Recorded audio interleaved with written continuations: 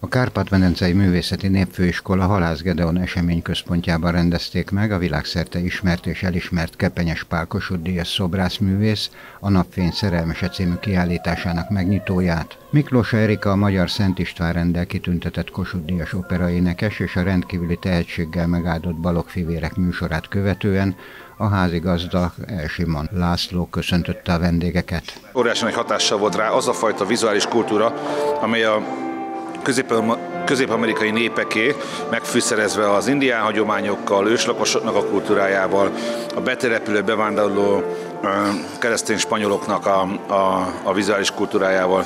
Ebből alakult ki aztán létre, ebből alakult ki aztán a, a sajátos kepenyesi virágkép, amelynek a bronz szobrai most már sokadik alkalommal láthatóak Magyarországon. Schmidt Mária a Terrorháza Múzeum főigazgatója megnyitó gondolataiban elénk tárta Kepenyes Pál az egyetemes képzőművészet kiválóságának életét.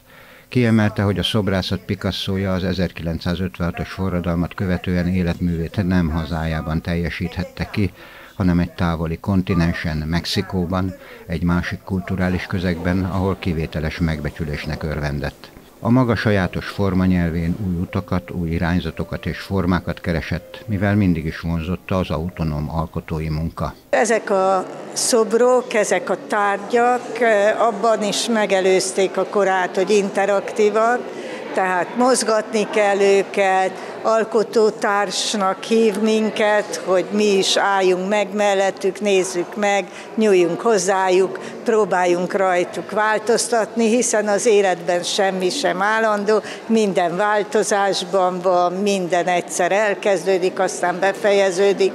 Tehát ezek olyan, olyan műalkotások, amelyek nagyon modernek, de nagyon ősiek, az idő kérdését feszegetik, a teremtés, az alkotás, az újraalkotás kérdésével foglalkoznak. A köszöntőket követően Megyeri János a tárlat kurátor egy rendhagyó találkozásra invitálta meg a megjelenteket, és úgy fogalmazott, hogy bár Kepenyes Pál művei durván megmunkált fémekből készültek, de mégis átjárja a lelkünket a fény, amelyel üzenni akart nekünk.